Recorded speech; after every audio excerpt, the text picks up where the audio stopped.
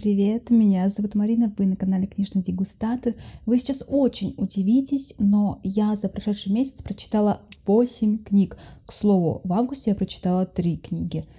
Не знаю, как так получилось, но вот так получилось. Ну ладно, в общем, вы сейчас узнаете, как это получилось. Не знаю, замечаете вы или нет, но я все больше стараюсь говорить в видео про прочитанные месяцы меньше, меньше и меньше потому что мне самой как зрителю нравятся коротенькие обзоры книг, но как блогер я забалтываюсь, наливаю кучу воды, все подробно пытаюсь разобрать. В итоге я мучаюсь переслушивать саму себя на монтаже, а потом понимаю, что мои видео про прочитанное смотрит очень мало человек. Вот, поэтому у меня возникает к вам такой вопрос – какой формат нравится вам больше? Вам больше нравится, когда блогер прям подробно разбирает книгу, говорит про ее завязку, про сюжет, про оформление, про историю покупки, вот про все на свете – либо вам было бы достаточно короткого обзора, что эта книга про то-то, мне не понравилось то-то, а вот это не понравилось. Вот, так что я жду ваших ответов, потому что я уже не знаю, что делать. Я очень стараюсь снимать поменьше, но у меня не получается, потому что я болтушка. Первая книга, прочитанная мной в сентябре, это «Назови меня по имени» Ольги Аникиной. Книга, я бы сказала, трагичная, книга тяжелая. При этом она о судьбе обычной женщины, школьной учительницы. И вот она реально обычная, она похожая на какую-то вашу знакомую. Ее жизнь понятна и знакома многим. Она мать-одиночка, так вот сложилось, что сына она воспитывает одна. А, также она не находится в каких-то хороших отношениях любовных. Она находится в отношениях, даже в довольно постоянных, но с женатым мужчиной. Денег у нее толком нет, ну, она учительница, вы сами поняли, там зарплаты маленькие, при этом есть ипотека, там кредиты и все прочее, надо там и тут заплатить, и там заплатить, и ребенка накормить, ну, общем, тоже все для всех понятно, все для всех знакомо. С мамой у нее отношения плохие, детство было несчастливое, и вообще всю жизнь она была тихоней, но несправедливость разжигает в ней ненависть. И сталкивается она с этой несправедливостью, собственно, в школе, в классе, у которого она преподает. Потому что в этот класс приходит парень, который раньше учился на надомном или семейном обучении, ну, в общем, что-то вот такое. Он талантлив, он умен, но вот так получилось, что из-за проблем со здоровьем он не мог прям ходить в школу, да, не мог вот какую-то активность проявлять, поэтому он сидел дома. И к нему приходили учителя, приходили, может быть, не приходили учителя, ну, вообще, она к репетитору даже, по-моему, приходила, вот, что я уже все, что-то я уже плохо помню, он талантлив еще и как художник, он реально занимается прям с настоящим художником, ну все, классный парень, молодец. Но когда он приходит в школу, он эм, превосходит некоторых ребят в умственном плане. Он начинает э, ну, как-то нравится девочкам, мальчики в том числе, и ревнуют своих девочек к нему. Ну и при этом, конечно, им неприятно, что что-то он вот такой вот умный пришел тут и выпендривается, типа, да. И они начинают его травить. Травить очень неприятно, не буду вдаваться в подробности, но вот эта вся ситуация очень взбодрила нашу главную героиню учительницу, и из тихони она превратилась в такую прям жесткую женщину, которая вот старается этого а, мальчика оградить, что ли, от вот этой травли, но я так вам рассказала в двух словах, не в двух, конечно, но все-таки коротко, потому что сам роман намного глубже, и он включает в себя больше, конечно, граней каких-то. Здесь не только будет про жизнь класса, и не только про ее вот э, отношение к жизни как учительницы, да. Мы заглянем и в ее детство, и узнаем об отце ее ребенка, о том, как складывались у них отношения, почему они сейчас не вместе.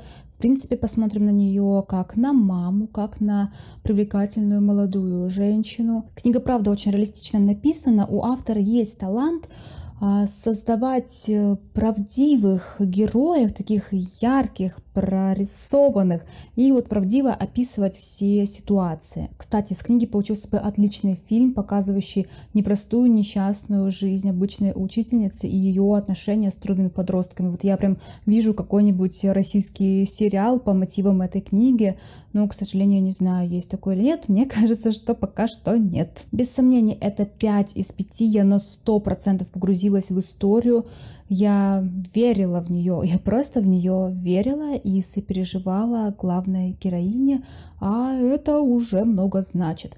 Книга отлично подойдет любителям неспешной современной прозы, чтобы вот прям вникнуть и в жизнь главной героини как учительницы, и вот в эту школьную жизнь, общение с подростками, ну и узнать какие-то вот истории из ее юности. Говорю, я стараюсь, короче говорить, я стараюсь уже 10 минут видео идет. Ну, съемка, по крайней мере. Вообще класс. Молодец, Марина, супер. Не знаю, вырежу это или нет, но я просто злюсь, пузырюсь сама на себя. Да. А теперь перепрыгнем с грустной нотки на веселую, яркую и красочную. Манхва Лериана, невеста герцога по контракту. Вот у меня три тома, тут третий, да, по-моему, сверху третий, второй и первый. Давайте возьмем третий, самый новый, поэтому будем рассказывать про него. Ну, относительно новый, как бы вообще-то уже четвертый в предзаказе появился, так что если кто-то вот в курсе, кто-то читает, то можете уже заказывать, ну, либо, если кто-то сейчас заинтересуется, вот, знаете, четвертый том уже скоро тоже подоспеет, я его очень жду, очень хочу узнать, что же будет дальше. О чем книга? Жила-была обычная девочка, и она погибла. Ну, я так понимаю, что ее там столкнули с крыши, что ли, что-то вот такое. Ну, в общем, она погибла и попала в книгу. Она стала героиней книги, сюжет которой она прекрасно знает. И она знает, что она стала Лерианой, второстепенным героем вот этой книги. А также она прекрасно знает, что ее героиню здесь убьют. Но ей-то этого не хочется, и она понимает, что как бы нужно что-то менять, нужно что-то делать, учитывая, что она знает, кто ее убьет и как ее убьют. Своим поведением Лириана меняет весь сюжет книги, и она уже даже сама не знает, чем она закончится.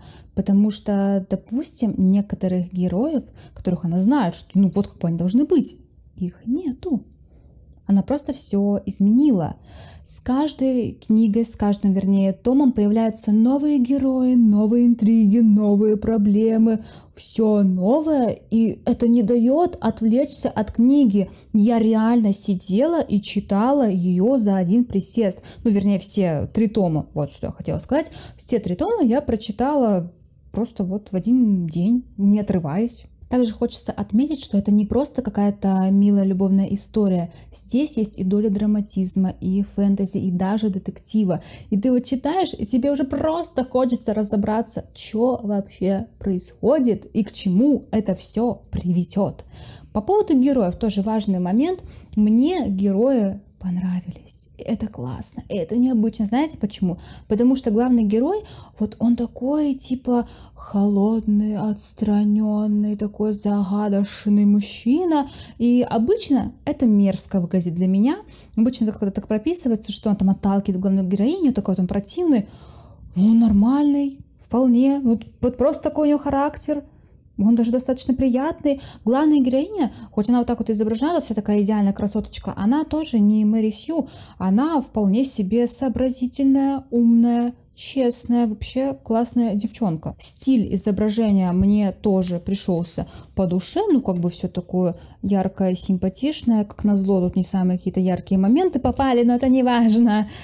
И вишенка на торте — это юмор автора. Вот это вот мне нравится, очень люблю, когда вот тут какие-нибудь шуточки вставляются, и они реально могут меня рассмешить. Это здорово. Так что я оцениваю вот эту манху на 5 из 5, очень жду четвертый том. И, кстати, просто такая рандомная информация, не знаю, нужна она вам или нет, но иногда, когда покупаешь вот э, томик манхвы, попадаются стикеры, попадаются наклеечки вот с главными героями. У меня где-то, кстати, было, не помню где, но в общем у меня где-то есть. Не помню в каком, в первом или втором томе мне вот попадалось. Сейчас будет.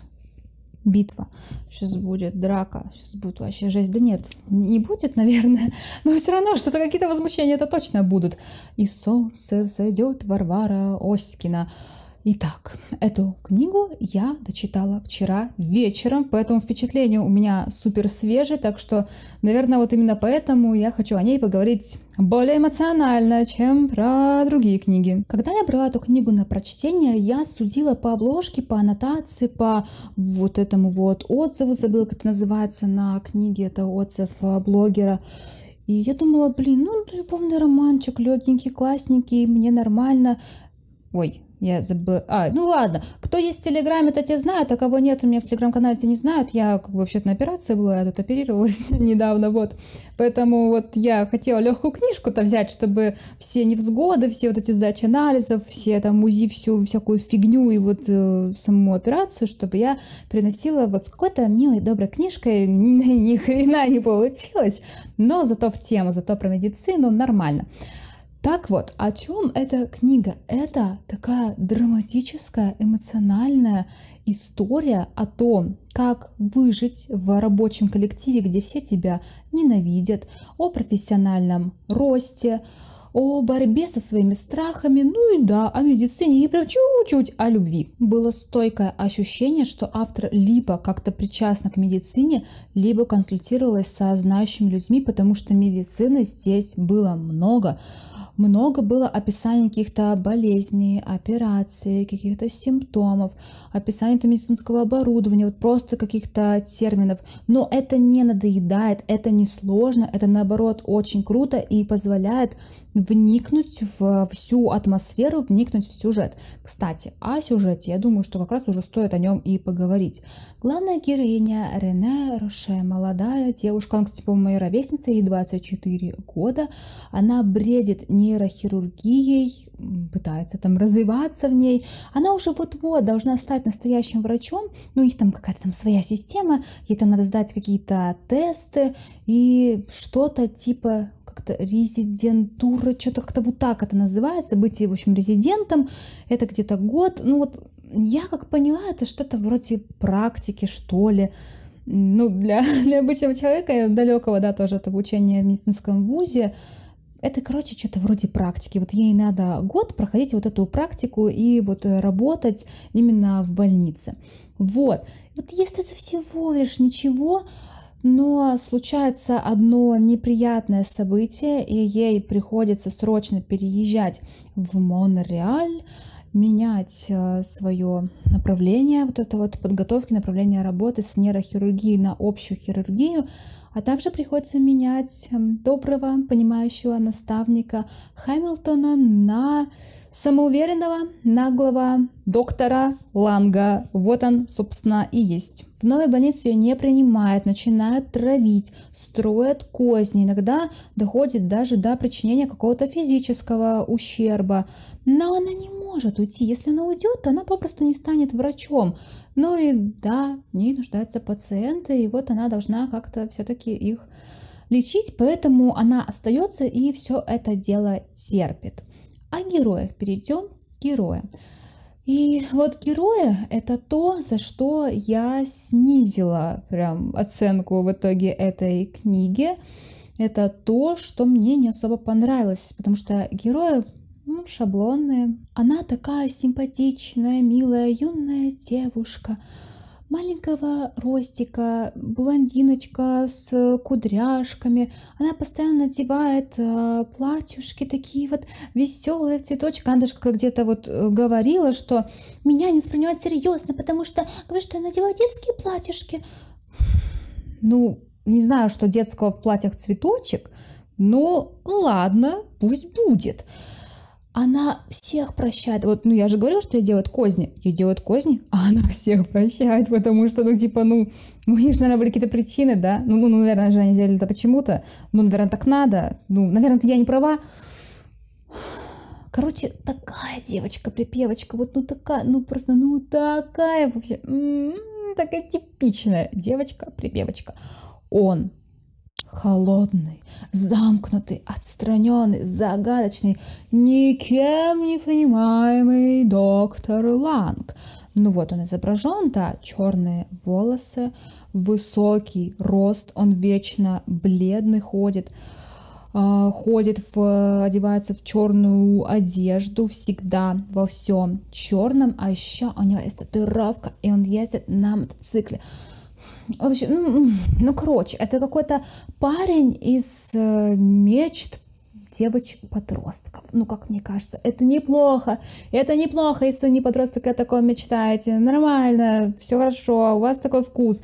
Я про то, что это немножко так типичненько. Он миллион раз ей говорит, что она здесь нафиг никому не нужна. Он делает ей всякие подлянки, он ее оскорбляет, но она его оправдывает, как всегда. Она как вот такой вот ангелочек, она думает, что не важно, то были причины. Это ок, это норм. Но это не норм, это просто нездоровое поведение. И я вот читала и понимала, что, ну, ребятка, надо просто к психологу идти. Потому что у нее синдром спасателя, а у него вот беспричинная агрессия. Все. Но но я понимаю, что такие отношения кому-нибудь, да, понравятся. И, ребята, если вы реально хотите вот почитать про такие отношения, где он такой холодный, отчужденный, но все-таки, как сказать-то, ну неплохой, да, где-то человек с какими-то там принципами и все дела, а она вот такая вот девочка-цветочек, то почему бы нет? Вот здесь вот это описано классно, это описано все-таки красиво, потому что вот именно сама книга написана хорошо, и это круто. А еще круто, что любовные отношения здесь не стоят в центре внимания. Здесь много внимания отдается медицине, вот каким-то вот этим случаям сложным, а также размышлениям героев, ну и каких-то, каким-то их а, поступкам. Здесь есть трагедия и не одна, и постепенно вот мы узнаем о прошлом героев. Также здесь есть тайны и тайны прошлого. И, конечно, это интересно, это классно. Но я как-то очень быстро поняла, что, ну, что там к чему, да, ну вот как бы саму суть этих тайн. Хотела подробности, естественно, прочитать, я хотела понять, что к чему, как это вышло, как это сделали, почему это сделали, почему все вот так. А это все будет во второй части. Это диалогия, потому что поэтому разгадку тайн мы узнаем только во второй части. К слову, вроде бы она тоже очень скоро выйдет, но ориентировочно октябрь, но зная всю эту кухню, может быть и ноябрь. Кому эта книга подойдет? Любителям художественных книг про медицину. Здесь реально описываются всякие интересные, сложные случаи, и описывается то, как спасают жизни людей, и это здорово, если вы такое любите. Если любите медицинские сериалы, да, это тоже можно почитать.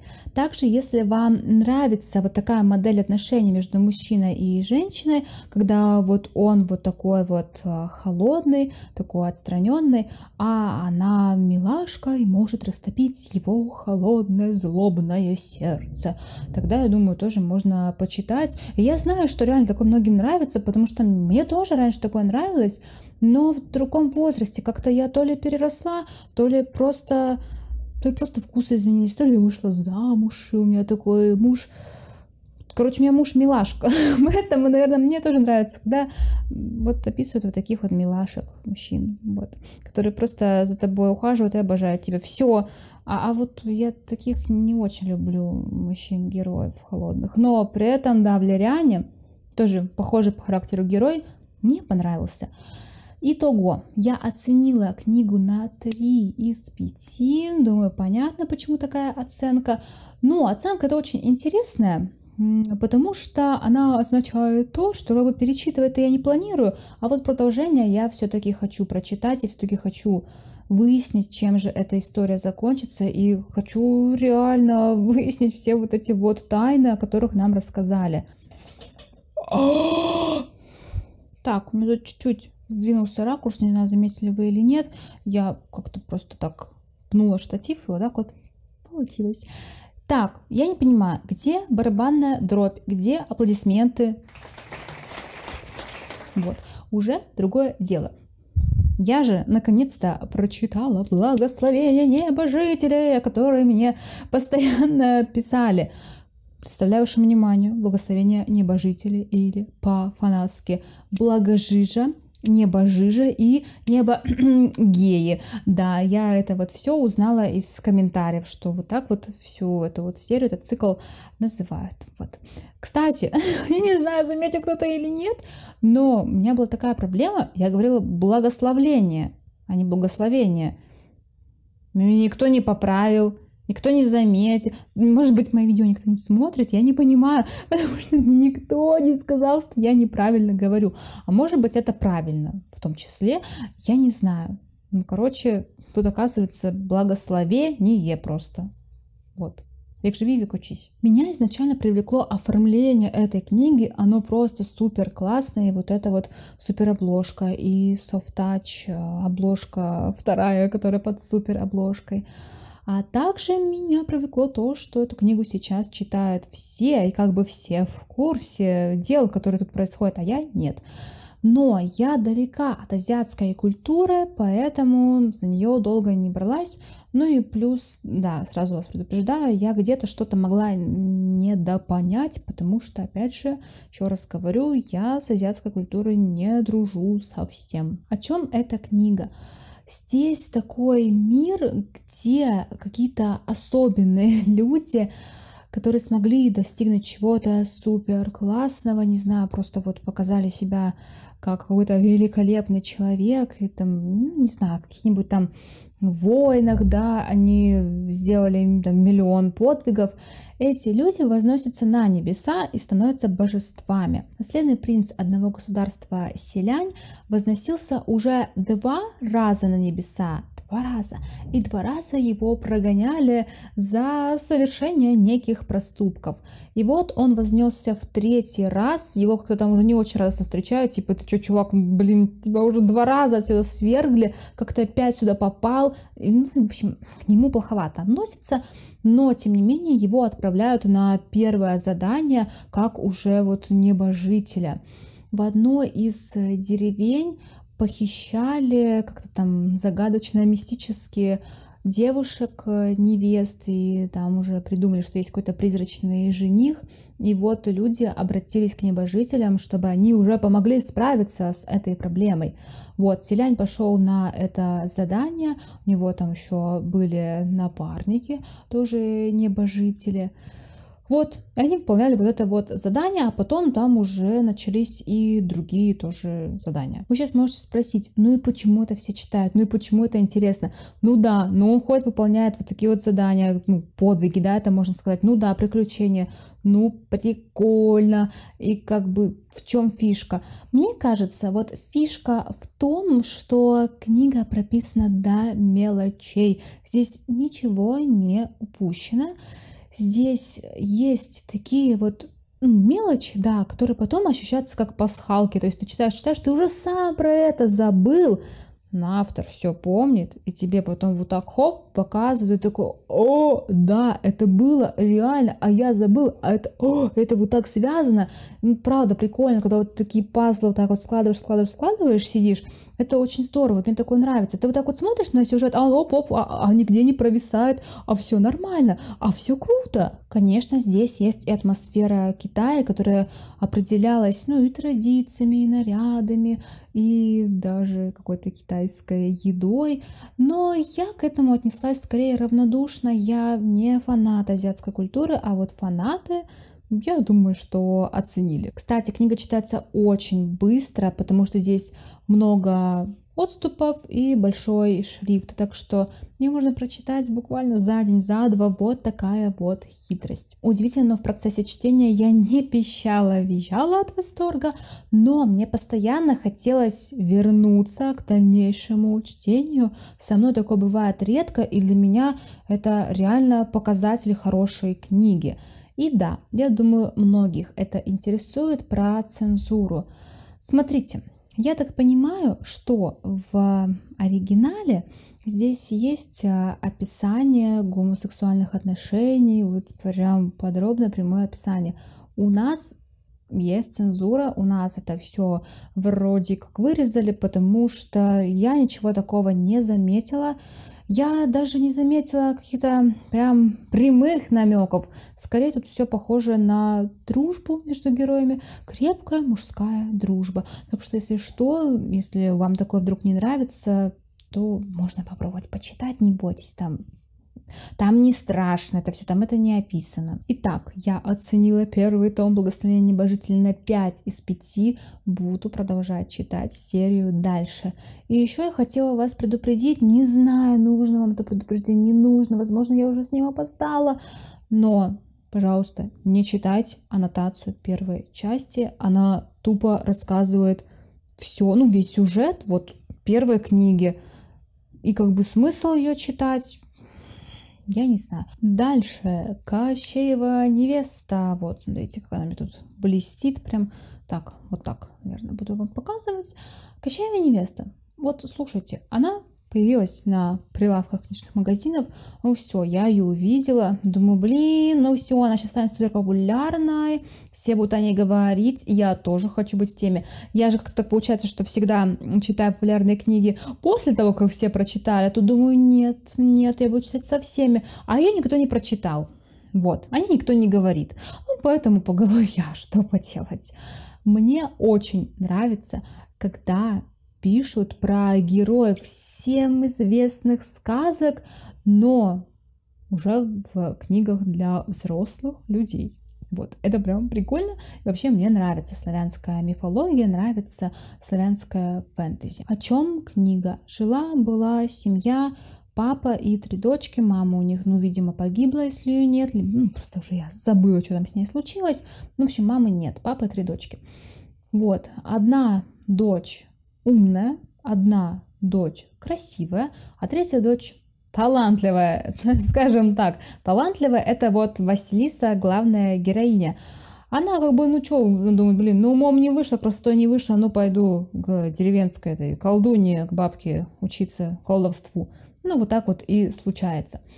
Вот, и она влюбляется в парня Ивана, а Иван влюбляется в ее красивую сестру Дарину. А Василиса очень это все так эмоционально переживает, проживает. И она в какой-то момент, я не помню, как там точно было, что-то вроде как не заклинание, не то чтобы это заклинание, но просто вот она как-то вот эмоционально вот это вот говорит, там, то ли ветру, то ли полю, что типа, вот бы там куда-нибудь Даринка делась, а Иван вот со мной был, меня там полюбил и все дела. Ну и в общем, но буквально там на следующий день приезжает к ним в деревню Кощей свататься, свататься к Дарине, потому что она реально самая красивая у них в деревне. Ему жена новая нужна, у него там так вообще есть еще жены, но ему новая нужна, красивая. Ну, он реально приезжает на вот это сватовство, а Василиса понимает, что в этом ее вина есть, что она как бы вот накликала беду, и поэтому она предлагает Кощею, чтобы он взял ее вместо Дарины. В итоге она становится женой Кощея. Ребята, первой страницы, буквально не бойтесь, это не спойлеры. Она становится женой Кощея, а, и вот выясняют, что у него есть еще другие жены, тоже с ними знакомятся. Там такие интересные дамочки все, классно так описаны, такие тоже яркие, это прям здорово автор описал, прям молодец. Вот, она с ними знакомится и выясняет, что а выберешься как бы из этого замка-то. Ну, все, теперь ей придется здесь жить с ним, а она надеялась, что как-то это все решится. Ну и вот так вот. В общем, она понимает, что она не выберется, что нужна помощь какого-то богатыря, богатыря что-то как-то нет пока на примете, и она решает, не то что решает, а так получается, что она родила сына, который тоже Кощея ненавидит, и приходит понимание, что если кто-то и спасет ее и остальных жен, ну и вообще других девушек, да, которые Кощей так и продолжает, ну, сватать, не, будет неправильно сказать, ну, он продолжает красть, то это только может быть сын Василисы. Мне очень нравилась часть про Василису. Вот правда, Кощеева невеста написана. Все, ты вот смотришь, как она обосновалась в этом замке, как она знакомится с его обустройством, с самим Кощеем, кстати. В замке есть э, змейки-кощейки. Это змейки, их очень много, они просто кишмя кишат, все их боятся, ну, девушки, жены, да, Кощея. А Кощей их обожает, на них нельзя наступать. Не дай бог на нее наступишь, тебе просто капец. Но при этом они еще и подслушивают, и потом доносят все Кощею. Есть у него там еще что-то какие-то там собаки, какие-то еще там прислуги тоже, вот эти сказать, темные какие-то там сущности. Вот, это интересно, это прям здорово, и мне очень нравилось про нее читать, я просто не могла оторваться, а потом как-то так получилось, что про нее резко все тинкс, закончилось, и началось про ее сына. Ну вот тут буквально книгу пополам разделили, все, началась история про ее сына, подростка, да, и как-то у меня градус интереса такой, все. Мне очень понравились отсылки к любимым сказкам детства, таким как вот магические, использование магических предметов, а, меч-кладенец, что там еще? Ну, это гребешок, который ты бросаешь, и появляется непроходимый лес. Там были и молодильные яблоки. Что только не было. А, Змей Горыныч, кстати, еще был. Ну, здорово, это интересно, правда, здорово, когда вот такое вот, э, все, тебе уже вроде знакомое, вплетают в новую историю. Круто. Мне понравился язык автора, потому что он использует столько интересных слов, вот, которые, мне кажется, использовали в речи в эпоху Древней Руси. Это так атмосферно, это, это круто. Да, здесь же еще были вот это повороты, и они были неожиданными, они были крутыми, и я их тоже по достоинству оценила. Но минусы все же перевесили. Если про остальные книги, про которые мы говорили ранее, я могла сказать, что они многогранные, герои такие реалистичные, такие сложные, то здесь все на поверхности, здесь все понятно, все ясно как бы тут не скажешь, что это прям какое-то сильное фэнтези. Это скорее сказка, где реально все ясно, но просто сказка в большем объеме. А что вот меня прям сильно расстроило, это любовная линия Василисы с неким мужчиной. Я не буду говорить с каким, ничего тут вам не буду сильно-то спойлерить, это все равно тоже было в середине книги. С нифига, с нифига. Они просто один раз увиделись, а потом, ну, то есть они второй раз встретились, таких хренак и поцеловались. Я так читаю, стоп, еще раз, точно Василиса, точно он, реально поцеловались, да, реально поцеловались. А, ч, а чё время зря терять? Ну, правильно, личную жизнь-то надо устраивать. Ну и плюс в конце ты уже ждешь вот этого накала страстей, сейчас будет финальная битва, сейчас будет вообще капец, разрыв всего, а там просто такой и все. И даже главные герои в финальной битве не участвуют, участвуют второстепенные. Она просто сказала, типа, ну, все закончилось вот так. Mm. Ну ладно, спасибо. Но я поняла, что там будет продолжение, может быть, даже оно уже вышло, я не интересовалась, я все-таки пока не планирую читать дальше. Вот. Но было, да, ощущение, что читаешь какую-то предысторию к основным событиям, не знаю, может быть, я и права, но что-то я подрастроилась, потому что прям у меня были большие ожидания, делала большие ставки на эту книгу, но вот так вот сложилось, поэтому три из пяти но. Я реально могу посоветовать эту книгу любителям славянского фэнтези, которым и не нужно что-то глубокое, что-то сложное. Если вы хотите почитать что-то похожее на сказочку, легкое, ой, вполне можно. Так-то вообще мне было интересно читать, и реально книга читалась легко. И если сравнивать ее с той же Марой и Мороком, вот эту книгу читать, ну, намного приятнее мне было. И заключительная книга «Смешинки и грустинки» Натальи Третьяковой. Это сборник рассказов. Сама Наталья блогер, и она в своем блоге и пишет вот эти вот рассказы. Но я о ней узнала уже только после того, как прочитала книжку. Вообще, я тут недавно по-моему, даже на канале это прям говорила, что я больше не хочу читать сборники рассказов, потому что мне это надоело. Вот ты берешь сборник, там вот есть офигенные рассказы, классные, они тебе очень нравятся. А есть такие, что ты просто офигаешь, думаешь, блин, какой бред, вообще как это можно написать. Бывает, что еще один тоже человек пишет, ты вообще думаешь, господи, какой ужас. Не знаю, вот, реально до сих пор помню этот рассказ, про бабку-ведьму, которая там давала девушкам снадобье для абортов. И в итоге там эта бабушка что-то там умерла, и, короче, что вообще, зачем мне такую хрень читать, мне оно не надо, не надо, мне, пожалуйста, что-то вот интересное, может быть, доброе, веселое, но, но не такое, пожалуйста. Но здесь вообще какой-то исключительный случай. Мне понравились все рассказы, все. Я смеялась, я плакала с этой книгой, я столько эмоций испытала, я вообще не могла от нее отойти. Я вот просто, я как села ее читать, я не встала с дивана, пока ее не дочитала. Настолько она меня зацепила. Хотя здесь есть и фантастические рассказы, но меня это нисколько не смущало. Больше всего мне понравились автобиографические рассказы. Жизнь у Натальи очень интересная. Она была замужем за мужчиной, который, ну, не особо-то много внимания ей уделял, не особо-то стремился работать над их отношениями, как-то вот развиваться.